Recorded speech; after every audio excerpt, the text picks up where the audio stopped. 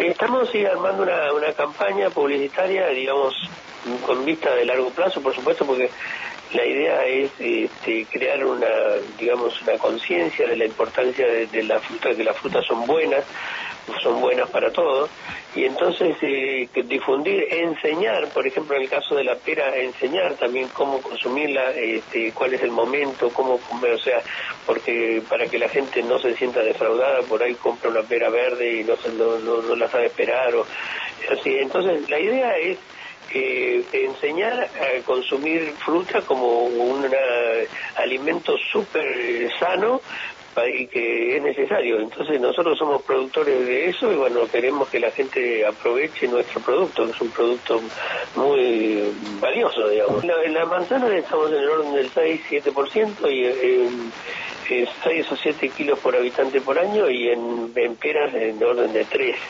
cuando otros países eh, están muchísimo, a veces más que el doble, digamos, de eso, los europeos, ¿no? Ahora, yo tengo entendido que hace algunos años atrás el consumo per cápita era cercano a 10 kilos por año.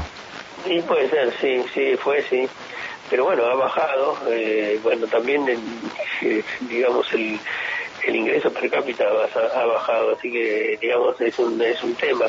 Este, digamos, comer sano no siempre es lo más barato.